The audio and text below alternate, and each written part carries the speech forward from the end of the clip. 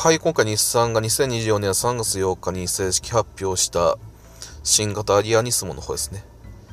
見積もっていって、オッセンのオプション関連納期情報、補助金とか紹介しながらですね、ニスモモデルの方見積もっていきます。標準車より走行性能とか加速性能とかですね、パワーがアップしていて、装備類もですね、充実していて、標準車の方は駆動方式肉もラインナップしてるんですね。B6、B9。で、ニスモモデルに関しては4区ですね。e-force のみの設定。B6、842万9300円で、B9 が944万1300円。B6 の方ですね。選択して、標準車の方も全グレード発売開始オーダー再開してですね。ボディ色結構多めですね。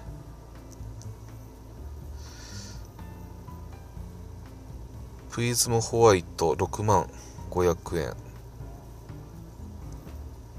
円。ダークメタルグレーが料金かからなくてブラックミッドナイトブラック有料色なんですね。6万500円。モートン3色、ツートン3色で、ルーフがブラックですね。ブラックブルー9万3500円で、ブラックホワイト9万3500円。で、ブラックグレーだけが8万2500円ですね。ここは料金かからないモートンのダークメタグレーを選択しておすすめオプション。日産コネクトスタンダードプランプラス7920円内装飾シート時は確か選択肢がなくて標準ですね。インテリアカラーがブラック。シート時が2層専用シート。全席パッドチューリング。スウェード調。合成コンビ表皮。ニソンロゴの刺繍が入ってですね。標準ですね。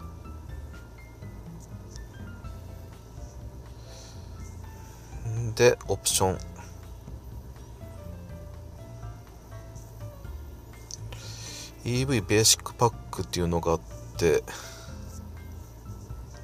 これは EV ベーシックパック充電ケーブルホルダーとディールですね。2点ついて。3万3053円。まあ一旦つけといて。ベーシックパックプラスっていうのがあるんですけどね。下に行くほど付け足す感じなんですかね。一旦こちらフロアマット。でドアレコもついてくるんですね。フロントと車内。プロパット専用です。ね2.0付き。イルミキッキングプレートラケッチエントリーガードプラスチックバイザー。ナンバープレートリム。ロックがついて。もうこれらも十分な装備内容ですけどね。サイドシーブーンですね。アリアンロゴ E で。フロント、車内、リアは、もうこれでもう賄えるんですかね。ラケージエントリーカード、バイザー、ナンバープレートリム、ロックがついてですね。下の2つのオプションをチェックしてからですね、どれを選択するか決めて、右上さっきチェックしたのが27万5947円なんで、左下の方が2万円安いんですね。マット。マットが夜明け。で、ドアレコは一緒ですね。で、その他のオプションも基本的には一緒ですね。マットの違いなんですかね。さっきのオプションの方が2万高いだけあってで右下が30万27円。イルミ関係ですかね。ブラックライトイルミカーペット。でその他のオプションは先ほどの2つと一緒ですね。ドアレコ。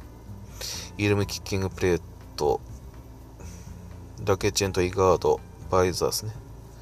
ナンバープレートリム、ナンバープレートロック、マットプラス、マット自体がもう、マットプラスですね。ブラックライト。いや、これもマット、フラーマットの方ですかね。ギアも、もう点灯するんですね、マット自体。ブルーに点灯して、それとも下の方ですね。こう30万27円を選択して、まあ、店舗の方で見つめればですね、もっと詳細なオプション類選択できると思うんですけどね、もうこれだけで十分ですよね。見つめ結果で、補助金は、まあ、グレードによって B6 と9によって違ってくると思うんですけどね、B6 の方で、国の補助金が85万、エコカー減税が4万8500円。で、あと東京都の場合、自治体によって違ってくると思うんですけどね、まあ70万ぐらいって言われてるんで、だから160万近い補助金ってことなんですかね。車用本体ニスモ B6E フォース4区842万9300円。ボディカラー有料色ミッドナイトブラックになってますね。さっきグレー選択したんですけどね。まあ有料色ですけどまあ6万500円ですね。でオプション。日産コネクトスタンダードプランプラス7920円。内装飾シート時が、まあ、標準なんで料金かからなくて。でオプションが EV ベーシックパック3万3053円とベーシックパックプラスブラックライトイルミカーペット30万27円。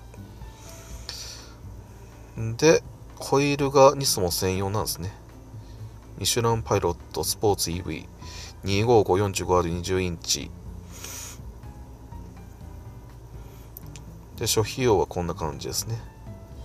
環境性能割と需要税が免税で、自賠責24,190円。税金保険料自作費用、登録諸費用込みで諸費用安ですね。86,850円。試合本体プラス、オプション類プラスですね。初期費足して総額891万7654円。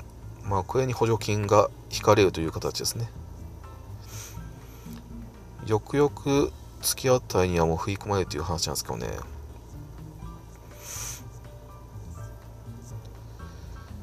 納期の目安としては半年っていう話あったんですけどね、また最近納期の方延長してきたみたいで、ちなみに標準車の B6 肉の方がですね、539万だったのが619万100円と、約120万も値上がりしたみたいで、まあ原材料価格の高騰で値上げしたという話ですね。で、納期としては、去年、一時3ヶ月っていう話あったのが直近で半年になってですね、まあ、一部オーダーストップしたことによって、そう半年かまた納期の方延長している可能性があるんですけどね。はい、今回、日産新型アリアニスモ B6E フォースを見積もっておすすめのオプション関連で納期情報と補助金について紹介しました。